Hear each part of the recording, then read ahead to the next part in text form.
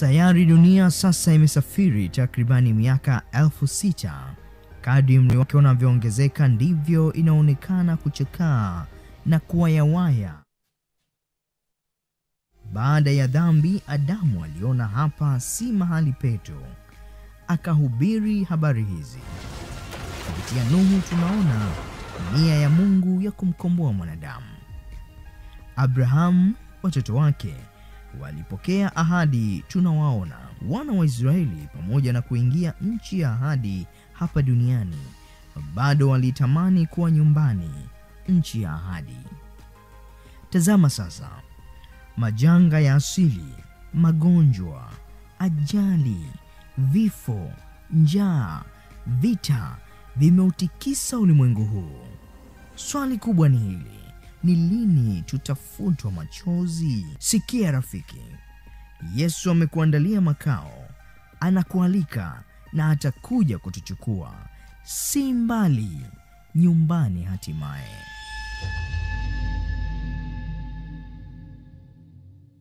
Nyerezi mwaka elfu mbili na kumi na tisa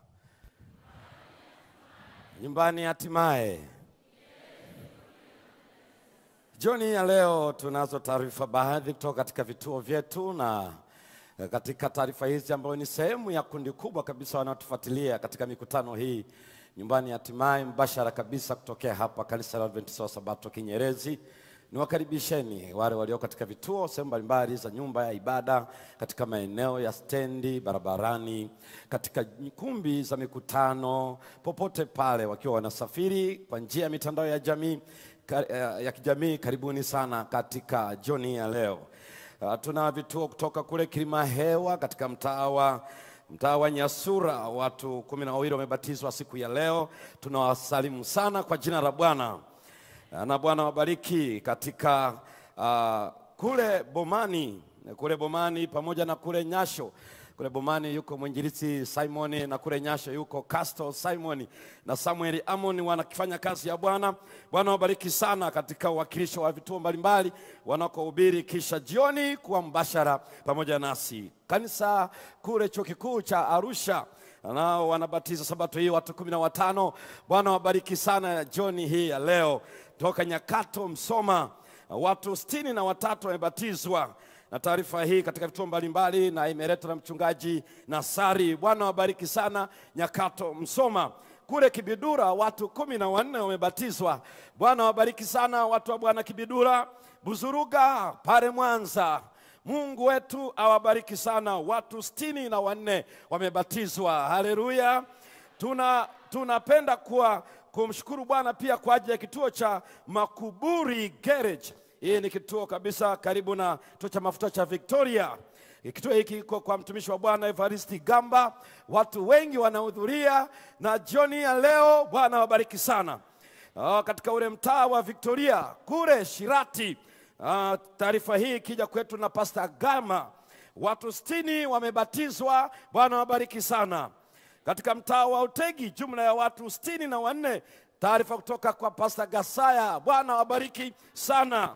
Ule mtaa wa Bwasi mchungaji uh, Soga ametupitia taarifa kwamba watu wamebatizwa katika ziwa Victoria mia moja na thelathini na nne. Bwana wabariki sana.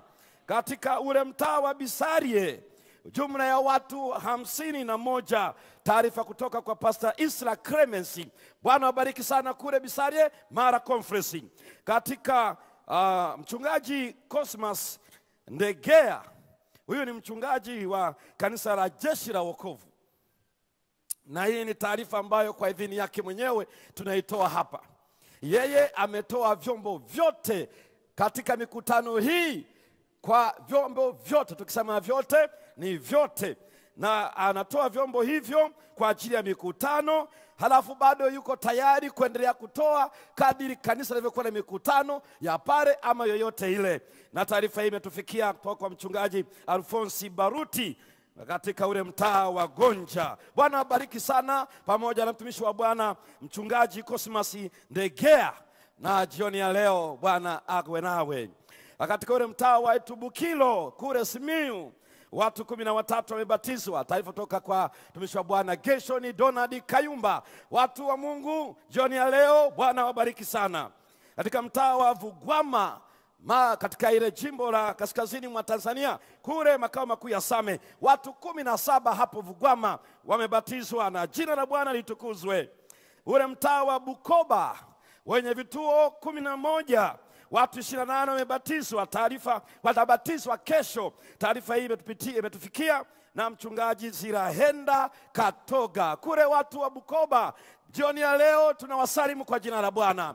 Bwana wabariki sana. Mtaa wa Masumbwe, huyu ni mtaa wa Masumbwe, watu thelathini na mbili wamebatizwa. Taarifa na mchungaji Lazaro Mbogo. Bwana wabariki sana mtaa wa Masumbwe. Ule mtaa wa Maregea mtaa wa Maregea, jumla ya watu 38 wamebatizwa katika, katika kile uh, vile visiwa vya Ukerewe. Taarifa hii na mchungaji Yohana Kado. Bwana wabariki sana huko Maregea, katika ule mtaa wa Nyamsua mtaa wa Nyamsua Mara Conference, jumla ya watu mia moja kumi na mbili wamebatizwa. Bwana wabariki sana jioni ya leo. Mtaa wa Kirumba pale Mwanza watu thelathini na wanne wamebatizwa jioni hii. Bwana awabariki watu wa Kirumba kule na Chingwea na Chingwea Mnero Miembeni, watu wa Mungu tunawapata, taarifa zote zimewafikia na tunaelewa kinachoendelea pale. Itoshe tu kusema ya kwamba Bwana wabariki jioni ya leo. Katika kile kituo cha Umasaini, miongoni mwa vituo ambacho kinasimamiwa na kanisa la Buruka watumishi wa Bwana Elia Nyeura na Andrew Gamba, watu kumi na moja katika kituo cha Umasaini wamebatizwa. Bwana wabariki sana. Taarifa hiyo imetujia kutupitia mtumishi wa Bwana Sivia, na taarifa pia kutoka katika gereza la Butimba Mwanza, wafungwa kumi na nane wako tayari kwa ajili ya ubatizo, na tunaomba Mungu awapatie kupitia mamlaka zilizowekwa ili waweze kuzaliwa upya katika ile chumba cha gereza. Jioni ya leo Bwana awapatie uhuru, uhuru ulio kweli kweli kwa neno lake pale gereza la Butimba Mwanza. Ya kituo cha Swai katika kanisa lile la Urongoni SDA, watu watatu wamebatizwa. Jina la Bwana libarikiwe. Liagati SDA, watu wawili wamebatizwa. Bwana awabariki sana. Kwa uwakilishi, itoshe kusema jioni ya leo Bwana wabariki kila mtu kwa kila anachofanya na jina lake litukuzwe. Karibuni jioni ya leo katika mfululizo wa mada zetu nyumbani hatimaye, na somo la jioni ya leo lina kichwa kinachosema nyumbani hatimaye. Fumba macho tuweze kuomba. Baba yetu mwema, jioni ya leo tumekujia tena jidhihirishe kwetu na neno lako, tupatie bashasha na shamra shamra, shangwe, nderemo na vifijo, kila aina ya furaha ikajae mioyoni mwa watu wako, kwa sababu neno lako litatazamisha nyuma ya pazia. Hebu nena nasi nyumbani hatimaye, katika jina la Yesu, amina.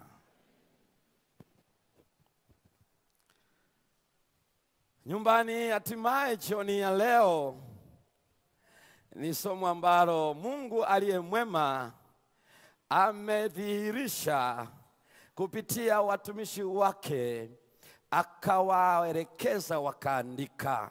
Kila mmoja aliandika kwa namna alivyoelewa, kwa sababu Mungu aliwadhihirishia na wakatoa taarifa kile walichoona. Nyumbani hatimaye, jioni ya leo ndio somo la pekee ambalo linafanya tuwe na nguvu kusonga mbele jioni hii ya pekee. Jana tulianza na tukaona huyu Mungu ambaye ana mpango wa kumaliza dhambi na wa dhambi, na kwamba apendi mwanadamu ateketee, maana moto umewekwa kwa ajili ya shetani na malaika zake. Hiyo ni Mathayo 25 na ule mstari wa arobaini na moja. Kwa sababu hiyo hakuna mwanadamu anapaswa ateketee, ila Mungu anaheshimu uchaguzi ile juzi ile, kwa sababu jana tulikuwa na somo tofauti. Juzi tuliona jambo hilo kwamba Mungu anapotaka amalize na mwisho wa ubishi katika maisha haya. Sasa kuna mambo ambayo tunahitaji kuelewa kabla hatujaingia nyumbani hatimaye. Jambo la kwanza tulipokuwa tunasoma juzi, tuliona ya kwamba katika mstari wa kumi na nne mstari wa kumi na tano Ufunuo sura ya ishirini wakati wanataka kuvamia ule mji, ndipo wanaona sinema ya maisha yao, baada ya kuona kila mtu maisha yake na fursa walizopewa za kuokolewa, alafu kisha wanaona vile ambavyo ibilisi kuasi kwake na jinsi Mungu alivyoshughulika naye, na wanaona vile Mungu alivyosii, mikutano ilivyowekwa, vitabu vya neno la Bwana, mwaliko ulipokufikia, wito ulivyotolewa, wengine wanaitikia, na hao watu wakiona walivyokataa, walivyobeza, walivyodharau, siku hiyo kila mtu ataona maisha yake, na ndipo wanapokiri ni kweli ni za haki na za kweli hukumu zako. Ndio maana tulisoma Isaya katika sura ya 45 kasoma mstari wa 20 hadi 22, Bwana ameapa kila goti litapigwa. Tukasoma Wafilipi sura ya pili na ule mstari wa kumi na moja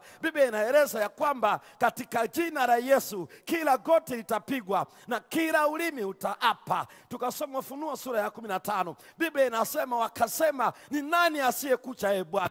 Kila goti litapigwa kwake, hata mwisho, kabla hawajaingia kwenye ziwa la moto. Kila mtu aliyekili, lazima aliyeko pale. Watakili ni za haki na za kweli. Na afsiri yake tukaona goti beleki, maana yake watasujudu, maana yake watajisalimisha, maana yake wataabudu, maana yake watatii, maana yake watatambua na kwa sababu hiyo, kabla hawajafa katika ziwa la moto, watakiri, watatambua, watakubali, watatii, wataabudu. Mungu ni wa kweli na hukumu zake ni za haki. Alafu Mungu atawasha moto. Sasa sikiliza kidogo. Kuna maelezo mengi ambayo baadhi ya watu wanaeleza ule moto, wanaeleza wanaposoma Biblia moto wa milele, wanasema wengine wanaelezea watakavyoungua taratibu taratibu, na alafu anasema utazimika. Ngoja nikwambie kitu kimoja cha pekee. Ah, neno milele linahitajika kueleweka vizuri, kwa sababu milele katika lugha ya Kiyunani na lugha ya Kiebrania ina maana kwa maksudi yake, kwa kiwango chake, kwa kazi iliyokusudiwa na ndio maana ukisoma katika Yuda moja mstari wa saba uh, Biblia inasema Sodoma na Gomora inateketea katika moto wa milele. Hiyo ni Yuda moja mstari wa saba. Sasa nikuuliza swali, je, leo na Sodoma, Sodoma na Gomora inaendelea kuwaka? Jibu hapana. Nasema unajuaje mchungaji? Ukienda Petro ya pili sura ya pili na mstari wa sita Biblia inasema Sodoma na Gomora, kwa namna ambavyo hawakumtii Bwana Mungu, aliwasha moto wakawa majivu. Hiyo ni Petro ya pili sura ya pili na mstari wa sita na ndio maana ukisoma Malaki sura ya nne mstari wa kwanza hadi wa nne Biblia inasema watakuwa majivu watakuwa majivu katika miguu yao waliokolewa. Maana yule moto ni kwamba kazi ya yule moto ni kuchoma dhambi na wenye dhambi, na popote ilipo dhambi, chochote chenye dhambi kwa sababu hiyo kitawaka na dunia hii yote itakuwa moto. Na ule moto ni wa nani? Basi huo moto tunaosoma hapa, Biblia inaeleza jambo la pekee, inaeleza Mungu ni moto ulao. Hiyo ni kitabu cha Ibrania sura ya kumi na mbili na mstari wa ishirini na tisa. Mungu ni moto ulao, moto ulao. Na kwa sababu hiyo, kwa kuwa ni moto ulao, kwa kuwa ni moto ulao utukufu wake utawateketeza dunia hii na kila kitu kilicho na uovu, na utawaka. Baada ya dhambi na wadhambi kuteketea, kazi yake itamalizika na wenyewe utazima. Na ndio maana anasema ni wa milele, kwa sababu matokeo ya ule moto ni wa milele. Wale waliosoma kemia wanaelewa badiliko la kikemikali na badiliko la kifizikia, chemical change and physical change Ukibadilisha barafu kwenda maji ni physical change. Ukibadilisha maji kuwa mvuke ni physical change, lakini ukiwasha moto kwa pepa karatasi ikawaka, hiyo sio physical change, it is irreversible. The reaction is irreversible. Huwezi kurejesha tena katika hali ya kawaida. Moto ukiwasha kwenye karatasi, matokeo yake ni ya milele, sio kwamba unaendelea kuwaka, ila kilichofanywa na ule moto ni ya milele. Hiyo inaitwa chemical change, na ule moto utakapokuwa umewaka utafanya matokeo ya milele. Karibuni jioni ya leo. Ingia sasa sura mbili za mwisho za Biblia katika nyumbani hatimaye. Katika kitabu cha Ufunuo sura ishirini na moja na Ufunuo sura ya ishirini na mbili ni sura mbili zinazoelezea nyumbani hatimaye. Ni sura mbili zinazoelezea nyumbani hatimaye, na kwa sababu hiyo zinashabiana zinakubaliana na sura mbili za mwanzo za Biblia, Mwanzo moja na Mwanzo mbili, maisha yasiyo na dhambi, nyumbani hatimaye, tulipoanza somo letu la kwanza siku ile. La halafu sura ya tatu ya Mwanzo tukaingia ugenini. Biblia inaeleza kuanzia sura ya tatu ya Mwanzo dhambi inaingia, halafu tunaishi mpaka leo. Lakini juzi ile sura ya ishirini ya kitabu cha Ufunuo, mwisho wa dhambi na wa dhambi na kwa sababu hiyo kuanzia Mwanzo sura ya tatu hadi Ufunuo sura ya ishirini ni ndani ya maisha ya dhambi, lakini baada ya sura ya ishirini mwisho wa dhambi na wa dhambi. Kwa hiyo Ufunuo sura ya ishirini na moja na Ufunuo sura ya ishirini na mbili inafanya kazi ishirini na moja na ishirini na mbili na kwa sababu hiyo Biblia inaeleza ukweli ambao tunapaswa kuuelewa. Kuna sura mbili za nyumbani hatimaye. Haleluya! Sura mbili za mwisho wa Biblia zinatupeleka nyumbani hatimaye, nyumbani hatimaye. Na kwa sababu hiyo, jioni ya leo nipende kuwakaribisha Ufunuo sura ya ishirini na moja na ule mstari wa kwanza. Biblia inasema, kisha nikaona mbingu mpya na nchi mpya, kwa maana mbingu za kwanza na nchi ya kwanza zimekwisha kufanyaje? Kupita, wala hapana kitu gani tena mbingu mpya na nchi mpya. Sasa Yohana anatazamishwa katika makao ya waliokolewa. Nikaona mbingu mpya na nchi mpya. Katika ile Ufunuo sura ishirini na mstari wa kumi na tano unamalizika, wakatupwa katika jehanamu ya moto. Hiyo ndiyo mauti ya pili, na asiye na nafasi katika mauti hiyo ya pili ni yule aliye katika kitabu cha uzima cha mwana kondoo, kwa mujibu wa kitabu cha Ufunuo sura ya kumi na tatu na mstari wa nane na kitabu kile cha Luka sura ya kumi na mstari wa ishirini. Hao wote waliosemezana kwa ajili ya wokovu wao, kwa mujibu wa Malaki sura ya tatu mstari wa kumi na sita, majina yao yanapoandikwa kwenye kitabu cha uzima, hao hawatakuwa sehemu ya mauti ya pili. Na ndio maana sasa ni mauti ya kawaida tu, ni usingizi. Watu wanaosubiri nyumbani hatimaye hawapaswi kuogopa mauti ya sasa. Parapanda itakapolia watafufuka. Mbingu mpya na nchi mpya. Nikaona, Yohana anasema, kisha nikaona mbingu mpya na nchi mpya, maana zile za kwanza zimekwisha kupita. Huu ni kurasa mpya kabisa. Sasa nataka nishiriki na wewe. Nilikueleza ya kwamba nimekuwa nikisoma habari za lugha za Biblia na nimegundua ya kwamba zina mchango mkubwa sana katika kuelewa, maana kwa Kiunani maneno hayo, neno mpya yako mawili Ukienda haraka unaweza ukafikiri ni lile lile. Kwa mfano, siku ile ambavyo Yesu alikuwa anazungumzia divai kuukuu na divai mpya, neno linalotumika ni tofauti. Siku ile wakati anazungumzia habari akaleta, anaposema maisha mapya na nini, kitu tofauti. Anaposema tutavikwa mwili mpya, hilo neno mwili mpya ni tofauti lililotumika hapa, mbingu mpya na nchi mpya. Ile divai mpya ni tofauti na hapa, inayo maneno mawili ya Kiunani maneno mawili. La kwanza linaitwa news. Wale wanaoangalia kwenye skrini wanaweza wakaliona news. News pamoja na pili inaitwa kainos. News lina maana hii, lina maana ya wakati, ni kipya katika wakati. Kwa lugha nyingine ni kipya kwa sababu hakijawahi kuwepo. Hiyo ndio inaitwa news, hakijawahi kuwepo, ambao Walatini wanasema ex nihilo Ex hero maana yake ndio leo kimekuwapo, hakijawahi kuwa na historia ya kuwepo. Ndio hilo neno natumika Kebrania bara. Bara kwa Kiebrania maana yake anaposema anaumba, analeta vitu ambavyo havijawahi kuwepo, na huyo ni Mungu pekee ndiye anaweza kufanya hivyo. Bara Bereshit bara Elohim, Mungu hapo mwanzo, Mungu aziumba mbingu na nchi. Hilo neno ni bara, Mungu alivileta na havikuwepo.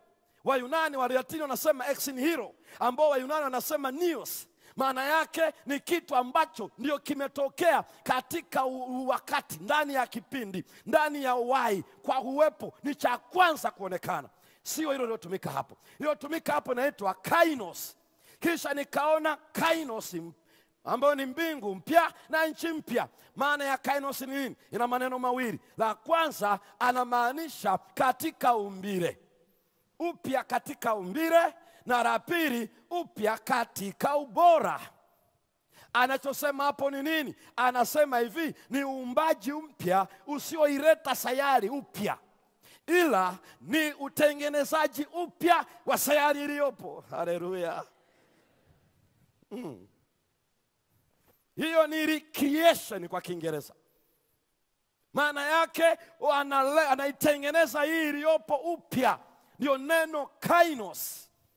Kwa hiyo sio kwamba hii dunia itakapowaka moto eti yenyewe itakuwa majivu. Hapana, yenyewe haitapotezwa, itakuwepo na imeteketezwa vitu vyote vya dunia, vitu vyote vya juu ya dunia, na kwa sababu hiyo inafanywa upya, inafanywa upya. Kainos sio kwamba inatengenezwa nyingine tofauti na hii, inafanywa upya. Nayo maneno yako wazi katika lugha ya Kiunani. Ndio maana anasema nikaiona upya tena hiyo mbingu, imewekwa upya. Na sasa sikiliza jambo la pekee, Mungu ana mpango wa kuifanya upya hii sayari, na anaifanyaje upya? Ni kwa uwezo wake mwenyewe, na ana uwezo wa kuirudisha katika upya wake. Haleluya! Nikaona mbingu mpya na nchi nani, wapendwa, mpya, angahewa mpya, ozoni layer mpya, ardhi mpya, maji mpya, na anasema hapata kuwa na bahari tena. Ni vizuri ujue neno bahari katika uelewa wa Biblia haimaanishi tu watu, lakini azungumzia machafuko, maana machafuko yatoka baharini, chaos, mavita, ma, matatizo yanayoleta bugudha. Anaposema hakuna bahari, hazungumzii maji. Anachosema ni kwamba matatizo katika hiyo mbingu mpya na nchi mpya hayawezi kutokea, na kwa sababu hiyo nyumbani hatimaye nyumbani hatimaye inaanza na mbingu mpya na nchi mpya, ndipo sasa unaingia Yerusalemu, na Biblia inaeleza katika mstari ule wa pili, kisha nikaona mji mtakatifu Yerusalemu ukishuka kutoka kwa Baba. Hiyo ni Ufunuo sura ya ishirini na moja na mstari wa pili. Halafu anauelezea kuanzia mstari fungu la kumi hadi fungu la ishirini. Anaelezea ukubwa wake, ni mraba, marefu sawa, mapana ni sawa, kimo ni sawa, yaani ni mji ambao ni mraba. Akasema ukubwa wake ni sawa na maili elfu moja na mia tano ukipeleka kwa kilomita inakupeleka elfu mbili na mia nne Ukichukua hapa mpaka Mwanza, tuliona kilomita ngapi urefu wake?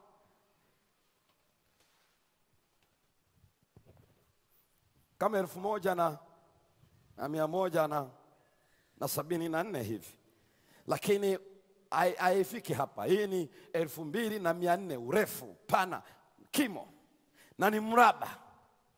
Misingi yake ni kumi na mbili. Huo ni mstari wa kumi hadi mstari wa ishirini, na anasema kila msingi, sikiliza vizuri, kila msingi ni mwanafunzi wa Yesu. Ametumia neno mitume amesema misingi inawakilisha mitume wa Yesu kumi na mbili, na kwa sababu hiyo kila msingi jina la mtume, kila msingi jina la mtume. Na ukienda kwenye milango yake ni nayo ni milango kumi na mbili. Ya lulu tu, mlango.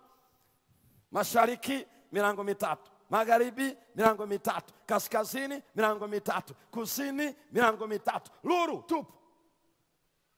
Lakini ukiangalia unene toka ukuta thickness kutoka sehemu hii kwenda hapa, yani ule unene thickness. Ukizungumzia unene unazungumzia kama Biblia hii kutoka hapa mpaka hapa, huu tunasema unene ile thickness ya ukuta ni mita sitini na nne kwa mujibu wa ziraa zilizoandikwa pale. Ukizibadilisha zile ziraa kwa upande wa yadi, ukatoa yadi ukaenda kwa mita katika vipimo vya metric, unakuta ni mita sitini na nne. Sasa ukiangalia ukubwa wa mita sitini na nne ni toka ukuta hata, hata ukuta, lakini ni transparency, yaani unaona huku mpaka kule.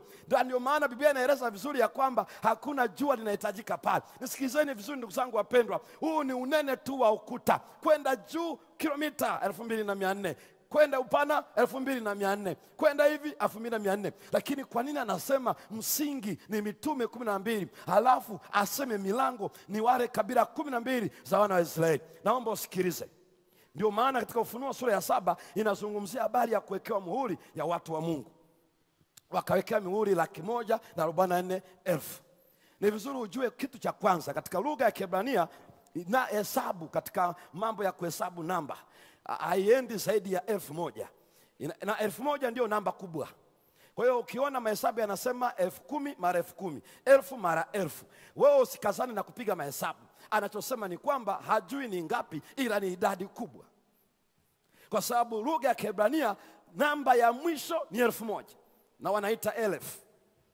Kwa ukiona kwa Kiswahili na wanaita elfu, wametoa kwa Kiebrania na kwa sababu hiyo elfu maana yake ni elfu moja. Sasa ukitoa elfu moja unabaki na mia moja arobaini na nne.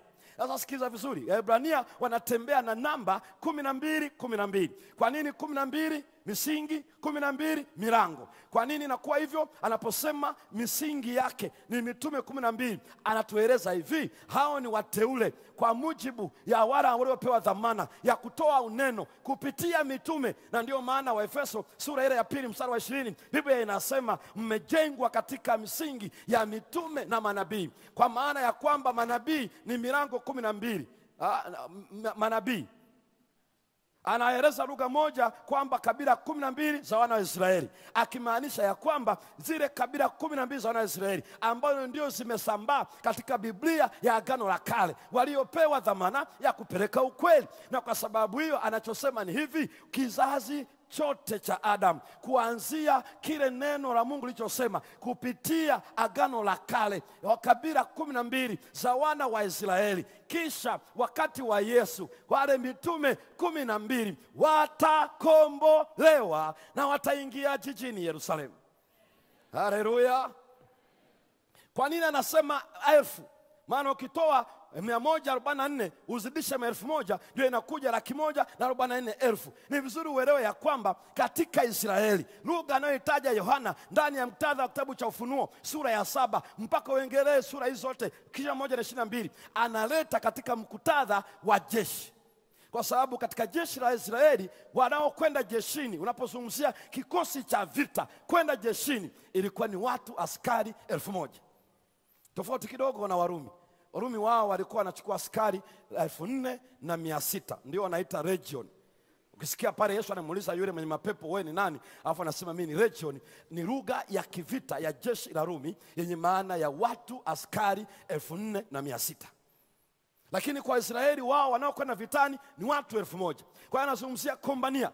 Hii ni task force ya kivita. Mungu anatambua walioshinda wataingia Yerusalemu. Ndio maana lugha yake anasema watakaoshinda wataingia. Ndio lugha anayoileta hapa. Nikaona mitume, nikaona manabii. Anachosema ni nini? Wana kabila la Israeli kumi na mbili. Anachosema ni nini? Anaelezea vizazi vyote ambao Mungu alinena nao katika agano la kale na agano jipya.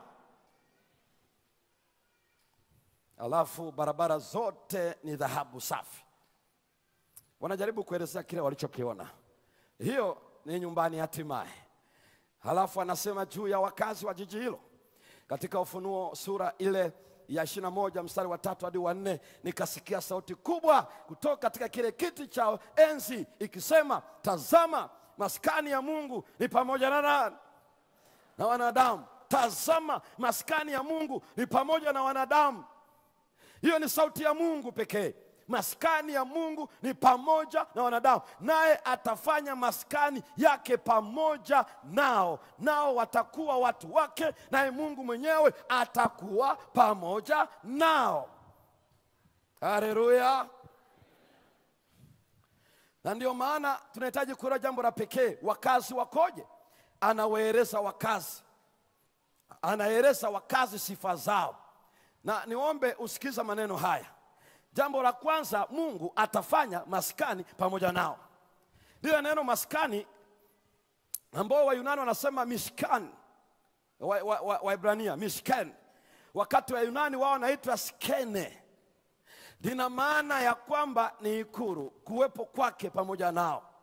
Ndio maana alisema katika kitabu cha uh, cha wa, wa, wa, wa, kitabu kile cha Kutoka sura ya 25 mstari wa nane, nifanyie patakatifu. Lile neno ndio hilo neno misken, sanctuary misken, nifanyeni patakatifu nikae kati yao ndio hilo hilo neno ukisoma Injili ya Yohana sura ile ya kwanza mstari wa kumi na nne kwamba Yesu alipochukua ubinadamu akakaa kwetu. Lile neno akakaa, hilo neno linaitwa skene, maana yake maskani. Yaani kwa kipindi hicho mbingu zikaweka maskani na watu wake akiwa na ubinadamu. Na sikizeni vizuri, hiyo ni Yohana moja mstari ule wa kumi na nne skene, miskene Mungu anapofanya maskani na watu wake, sasa anasema anafanya maskani na watu wake. Mungu atakaa nao, na ndio maana kote huko utasoma hekalu, utasoma patakatifu, bado utaingia. Ufunuo kumi na moja kumi na tisa nikaona hekalu liloko mbinguni. Utaingia sura ya kumi na tano unaona hekalu, unaenda tena kumi na sita unaona hekalu, lakini ni sura ile ya ishirini na mbili Biblia inasema sikuona hekalu tena. Hakuna haja ya hekalu. Kwa nini? Sikiza vizuri. Kwa nini hakuna hekalu katika mbingu mpya na nchi mpya? Naomba msikize vizuri. Maana ya hekalu ni kwamba hatuwezi kuonana na Mungu uso kwa uso, ana operate, anafanya kazi kupitia vielezo hivyo, na kuna hekalu juu mbinguni, kwa sababu hatuwezi kukaa naye uso kwa uso. Atakapotuvika kutokufa na kutokuharibika, Mungu atakuwa mbashara na watu wake. Ndio maana utaona hekalu. Kwa hiyo usichanganye, hekalu halionekani katika mbingu mpya na nchi mpya na kabla ya mbingu mpya na nchi mpya, kwa sababu ndio senta, ndio kitovu cha wokovu wa wanadamu. Mungu akiopareti, akituondolea dhambi, huku akitutakasa. Lakini atakapokuja akakaa na watu wake, hakuna tena hekalu. Yeye ni mbashara na watu wake. Ndio maana Biblia inasema sikuona hekalu. Ni kwa sababu hizo, ni kwa sababu hizo wakazi wake. Biblia inasema nini? Fungua, fungua Biblia Ufunuo ishirini uone kile ambacho Biblia inaeleza. ishirini na moja Na Biblia inasema ule mstari wa nne, naye atafuta kila chozi katika macho yao, atafuta kila chozi katika macho yao. Na Biblia inasema wala mauti haitakuwapo tena, wala maombolezo, wala kilio, wala maumivu hayatakuwapo tena, kwa kuwa mambo ya kwanza yamekwisha kupita. Na yeye aketie juu ya kile kiti cha enzi akasema, tazama, na yafanya yote kuwa mapya. Biblia inasema hakutakuwa na mauti, hakutakuwa na kilio, hakutakuwa na machozi. Mungu atayafanya kuwa historia iliyofutika. Atakaa pamoja nao na watakuwa pamoja na yeye, wao na yeye, yeye na wao, maisha yao yote. Kuugua havitakuwepo. Ta Biblia inasema ya kwamba vitakimbia, kitabu cha nabii Isaya. Kuugua na yoyote hayo yatatimua mbio kwa sababu haviruhusiwi kuingia nyumbani. Hatimaye hayo ndiyo maisha yaliyokombolewa. Hakuna saratani wala hakuna malaria wala hakuna joto kali wala hakuna nini. Biblia inaeleza ya kwamba vitarudishwa katika ubora, katika umbile na wote watakaoishi. Ndio maana anasema hakuna kinyonge kitakachoingia, kwa maana ya unyonge wa maisha ya dhambi, kwa maana ya unyonge ya athari za dhambi. Chochote kitakuwa bora. Natamani maisha hayo jioni ya leo. Mungu wetu atujalie tunaosikiliza habari za mbingu mpya na nchi mpya nyumbani hatimaye. Na Biblia inasema katika ule mstari wa tano, tazama nayafanya yote kuwa nini? Kuwa mapya. Na kisha Biblia inasema akaniambia, imekwisha kuwa, imekwisha kuwa. Hiyo ni kauli ya tatu mbingu zinataja. Ya kwanza aliisema Kalvari saa tisa arasili katikati ya majambazi wawili, mmoja aliyekubali na mmoja aliyekataa. Saa tisa akapaza sauti akasema, imekwisha. Kwa mara ya kwanza ni kitabu cha Injili ya Yohana sura ya 19 na mstari wa 30, imekwisha. Ilikuwa ni kauli ya kwanza. Kwa nini imekwisha? Ilikuwa ni ujumbe unakwenda kwa shetani na malaika zake kwamba ameshinda vita Yesu Kristo. Pambano hili la kuvuruga tabia ya Mungu limekwisha. Hiyo ilikuwa ni kauli ya kwanza, tamko la kwanza, ujumbe wa kwanza, ishara ya kwanza kwenda kwa shetani kwamba ameshindwa vita. Kwani ya kwanza, na alipotaja hiyo kauli, makaburi yalifunguka baadhi ya makaburi yalifunguka na unaikuta kwenye Mathayo hamsini na moja. Makaburi baadhi ya hamsini na sita yalifu, yalifunguka ma, ma, ma, Mathayo ishirini na saba na mstari wa hamsini na moja na kuendelea. Makaburi yalifunguka kwa kauli ile yake imekwisha, na akamdhihirisha shetani ya kwamba Yesu ana uwezo wa kuwatoa watu katika mauti. Mauti mauti ya milele. Na kwa sababu hiyo wachache waliofufuliwa kwa udhimbuko na ushahidi wa uwezo wake walifufuka, kawatokea ndugu zao, na baada ya muda wakapaa, wakaenda na Yesu siku ile, wakati Yesu anapaa, alipofufuka, malimbuko ya kwanza akapaa nao. Biblia inasema waliwatokea wengi katika Mathayo hiyo sura ya ishirini na sita alafu kisha akapaa pamoja nao. Imekwisha. Shetani kwa mara ya kwanza sauti ile ilimtisha, ilimstua, maana alijua ameshindwa vita, kana kwamba ni ya kwanza, lakini inaendelea. Ukienda Ufunuo sura ya kumi na sita mstari wa kumi na saba mara ya pili, mara ya pili sauti ikasikika, imekwisha kuwa. Hii ilikuwa ni tangazo linaloashiria pambano la mwisho kumaliza dhambi, na wakati huo sura ya kumi na sita ya Ufunuo ni katika pambano ambako kazi ya rehema ya kuwakomboa wanadamu Yesu kama kuhani amekwisha kamilisha. Walioingia kwenye kitabu cha uzima wamefahamika, waliokataa neema yake wamekosa milele, na kauli ataitaja kwa mara ya pili, imekwisha kuwa. Hiyo ni Ufunuo sura ya kumi na sita mstari wa kumi na saba. Ya tatu ni hii ambayo tunaisoma hapa Ufunuo sura ya ishirini na moja. Biblia inasema sauti ikasikika ikisema imekwisha kuwa. Tafsiri yake ni nini? Hii ni kauli ya tatu ambayo inaweka dhambi na uasi nje katika uumbaji wa Mungu, nje uumbaji wa Mungu, na hii ndio inakuwa ni final eradication, inaondoa chochote kinachoitwa dhambi, ambayo inajibu ajenda ya Ufunuo sura ya ishirini. Imekwisha kuwa. Kwa hiyo mara ya tatu atasema kauli hiyo, aliisema Kalvari, ataisema akiwa patakatifu.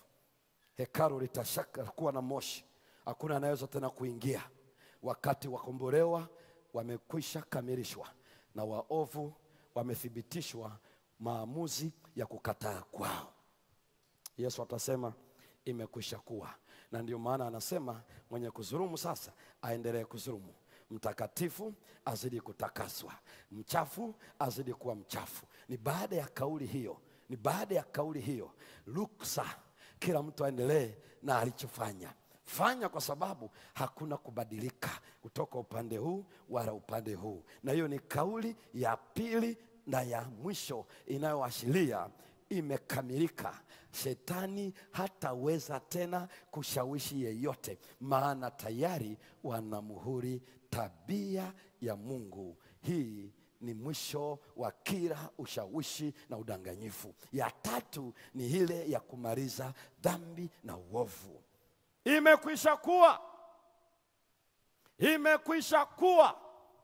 Sura ya Ufunuo ishirini na moja sura ya Ufunuo ishirini na mbili inaelezea kuanzia mstari wa tatu hadi mstari wa tano maisha yaliyokombolewa, inatuchukua inatupeleka juu ya mji mtakatifu, juu ya mto wa uzima, juu ya mti wa uzima na majani na matunda yake, maisha mbele za Bwana, yeye akitawala pamoja nao. Inatuelezea mazingira hayo yote, ukiona vinafanana na kitabu cha Mwanzo sura ya kwanza na sura ya pili, yote yanarejeshwa tena kwa ubora, halafu katika umbile takatifu, na Mungu ataweka maskani yake.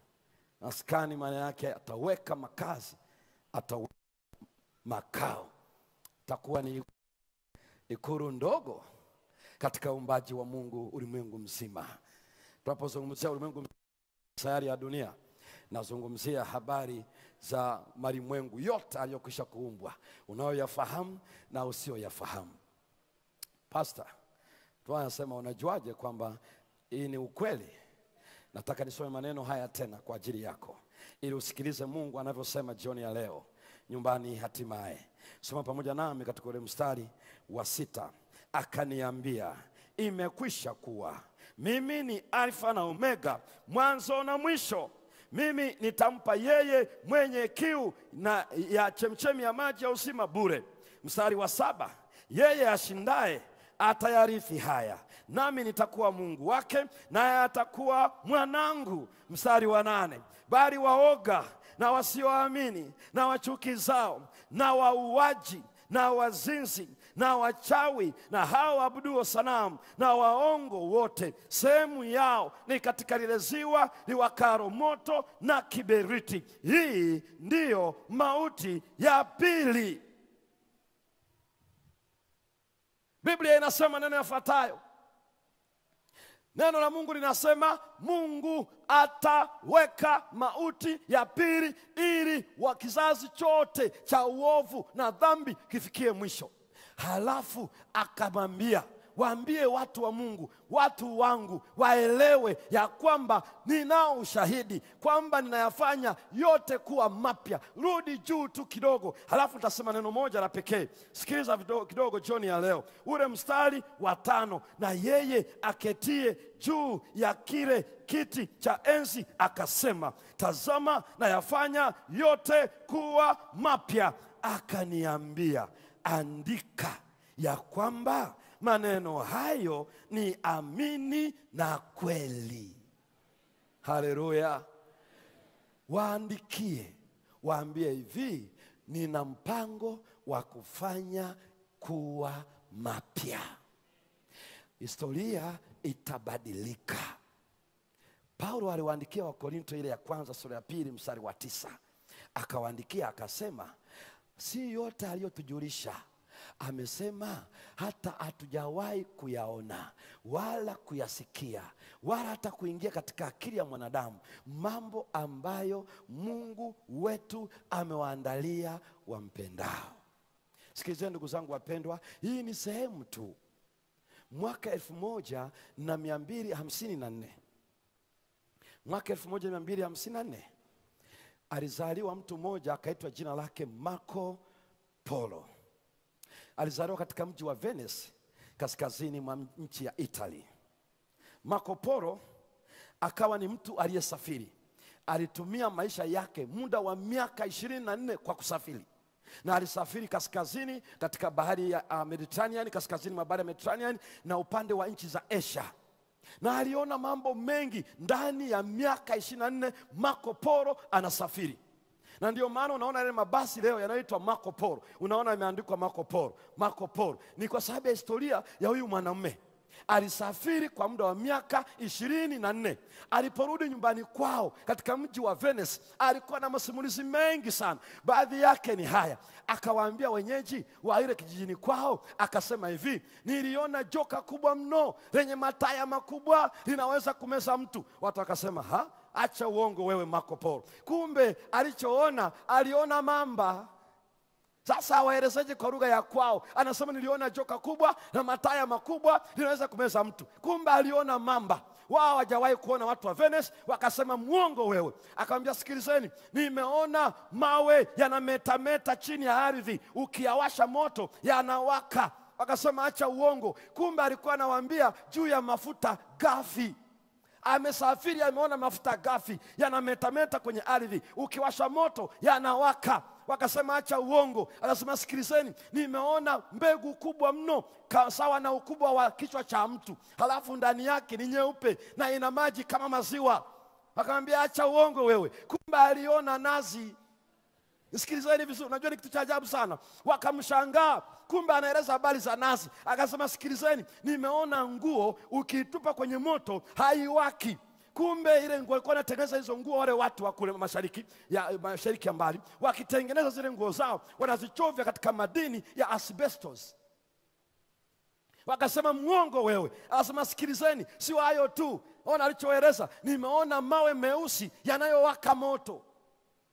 Akasema kitu gani? Sema yeye nimeona mawe meusi yanawaka moto. Kumbe alikuwa anawaambia habari ya makaa ya mawe. Miaka ikasonga, akiwa mzee ana miaka sabini, akiwa kitandani, akiwa mgonjwa. Wazee wenzake waliokuwa bado ni vijana waliolelewa pamoja na yeye, wamoja akajitosa katika kile chumba akiwa kitandani, akaenda akamwambia Marco Polo, kabla ujafa tunataka ukanushe masimulizi yako yote uliyotueleza ya uongo. Marco Polo akiwa mgonjwa, dakika zake za mwisho, aliwaambia ni kweli, ni kweli tupu, yote niliyowaambia ni kweli, nimeyaona kwa macho yangu. Hata hivyo sijawaambia hata nusu ya niliyoona. Marco Polo alikufa, amebaki akiwathibitishia ni kweli. Sikilizeni ndugu zangu wapendwa, ni kweli, hata nusu ya habari za nyumbani hatimaye hazijaandikwa hapa. Mungu mwenyewe amesema andika, ni kweli, amini na kweli. Tazama na yafanya yote kuwa mapya. Yesu anakuja na amefanya makazi kwa ajili yako. Itakugharimu nini jioni ya leo uende jehanamu ya moto? Ni kitu gani Yesu afanye ili ujiandae kwa kuja kwake mara ya pili? Ni gharama gani Yesu hajafanya? Kama ni neno amelipeleka, msalabani ametufia, kuomba anatuombea, amepeleka neno, wito anaita. Je, afanye nini zaidi? Afanye nini zaidi? Karibu muda sio mrefu, vigeregere na shangwe, tarumbeta zitalia, matawi ya mitende, mbingu zitarindima kwa shangwe na furaha. Hatimaye tunawachukua watoto wa Mungu wakae na Mungu milele, na wewe na mimi tunaweza kuwepo nyumbani hatimaye. Jioni ya leo unaweza kuwa sehemu yake, na kama ni shughuli yako, ni maamuzi yako, jioni ya leo waweza kusimama pamoja nami nyumbani hatimaye, kule kwenye kituo nyumbani hatimaye, tukutane nyumbani hatimaye. Na ili tukutane pale, tunayo neema ya Mungu inatupatia ujasiri. Biblia inasema waoga, waongo, wachawi, wale wanaofanya ibada ya sanamu, wote hawataingia. Mungu atupatie sio uoga wa kuogopa simba, sio uoga wa kukimbia nyoka, ni uoga wa kutosimama kwa ajili ya kweli ya Bwana, kuogopa wazazi, kuogopa viongozi wa ajili wako, kuogopa baba na mama, kuogopa viongozi wa dini, kuogopa mwanakijiji yeyote yule. Biblia inasema waoga hawataingia. Jioni ya leo ameandaa kwa ajili yako nyumbani, hatimaye waweza kuwa pamoja naye, na unaweza jioni ya leo mwanzo wa kuingia nyumbani ni kuwa jasiri kuikubali neema yake. Kuna makao ya amani, yote atayafanya kuwa mapya. Je, ni kusudi lako? Kama unahitaji, hata kama umesimama uko pale kwenye ile pale Bunda kwa yule bibi Fodia, popote pale unaponisikia, pale barabarani kwa yule mchungaji aliyetoa kule kwenye visiwa vya Mafia, pale Zanzibar, ninawaona pale Tanga, Yesu anawaona, tunawasiana hivi. Pale Dodoma, Kikuyu pale Dodoma Central, zungumza na Shinyanga. Pale Miembeni, pale Arusha, popote unaponisikia, Dar es Salaam, hapo Tanga, hapo Pwani, hapo Mbeya, hapo Tukuyu, hapo Bariadi, hapo Simiyu, tembea na Tabora, popote pale, Marekani, kule Japani, kule Norway, kule nchi za Skandinavia, pale China, kule Japani, popote jioni hii ya leo, ikiwa ndani ya basi, popote pale, unasema Yesu, nahitaji kuingia nyumbani nawe. Nyosha hata mkono wako, nyosha tu pale ulipo, nyosha tu mkono wako jioni ya leo, nasema Yesu nisaidie, niweko pale nyumbani, na nyumbani ni halisi. Waambie Yohana. Yohana ameambiwa andika maneno haya ni ya kweli na amini. Jioni ya leo fanya hivyo maishani, jitoe kwa ajili yake na uenda walioko hapa pia na kwenye vituo, shusha mikono yako na unasema Yesu nisaidie kweli, na mimi ubatizo wa kesho nahitaji kuwa miongoni mwao, pale kwenye vituo, pale nyumbani. Kwa nini usitembee hapa? Mtumishi wa Bwana, tafadhali wapokeeni watu wa Bwana kwenye vituo pale. Hata ulishajitoa, lakini pia leo jitoe. Hata hivyo bado hujajiandika jina lako ama uja ushatoa, lakini tembea jioni ya leo pale kwenye kituo, tembea jioni ya leo nyumbani. Hatimaye waambie ya kwamba maneno haya ni ya kweli naamini yamekwisha kuwa. Tembea pale ulipo, kule kwenye vituo, tembeeni jioni ya leo tembeeni. Nasema natoa maisha yangu, niko tayari kwa ajili ya kwenda nyumbani. Waambieni ni hakika naamini. Tembea pale ulipo, pale nyumbani, mbele ya skrini yako, pale kwenye kituo, tembea popote. Jioni ya leo Bwana anakuita, tembea. Asante Bwana, wabariki sana pale kwenye vituo. Wewe mama kwenye kituo pale, nyumbani pale, usiangalie chochote pale nyumbani kwako, kwenye televisheni yako, ni wewe. Yesu anasema na wewe jioni hii ya leo, tembea jioni ya leo. Bwana anakuita, anakungojea nyumbani. Hatimaye kila kitu kiko tayari, siku sio nyingi, parapanda italia, Yesu atatokea. Itagharimu nini jioni hii ya leo? Aseme nini tena huyu Mungu wa mbinguni? Ni kitu gani afanye kukuita wewe kama sio kutembea jioni hii ya leo pale kwenye vituo pale kwenye vituo pale nyumbani, katika nyumba za ibada, rafiki zangu, kando ya mto, popote ulipo, jioni hii ya leo, tembea tembea. Jioni ya leo, tembeeni watu wa Bwana nyumbani. Hatimaye Yesu anakuja na anakuja kwa ajili yako. Mbingu zinangojea wote walio majasiri, wote wanaochukua neno la Bwana. Tembea tu pale ulipo, mtie moyo uliye naye, na kama anahitaji kutua moyo, tembea pamoja na yeye. Bwana anamwita pale kwenye vituo, mtie moyo, tembea pamoja na yeye jioni hii ya leo nyumbani. Hatimaye usiondoke, Mungu akupatie nguvu unapojitoa kwa ajili ya ubatizo. Kesho maelfu ya watu watabatizwa nyumbani. Hatimaye tuombe kidogo, wakati watu wa Mungu wanakuja. Tembea tu, tembea tembea, wakati tunaomba sasa hivi. Fumba macho yako. Baba yetu wa mbinguni, jioni hii ya leo, asante kutuita, asante kwa ajili ya nyumbani. Hatimaye tembea na kila mmoja, kamilisha ujasiri huu katika jina la Yesu, amina. Bwana